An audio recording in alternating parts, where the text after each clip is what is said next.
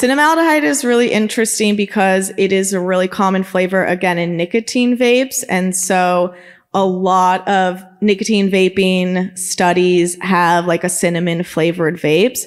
And every single time, I'm not exaggerating, every single time cinnamon flavor is tested, it is always the most toxic, like significantly more toxic than any other flavor of any vape.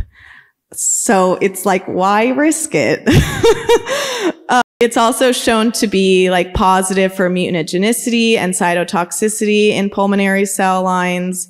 Uh, there's also a case study where workers in a cinnamon processing facility plant and cinnamaldehyde is the highest composition of compound found in cinnamon. And over 60% of these workers reported significantly serious adverse events uh, just from working around this cinnamon.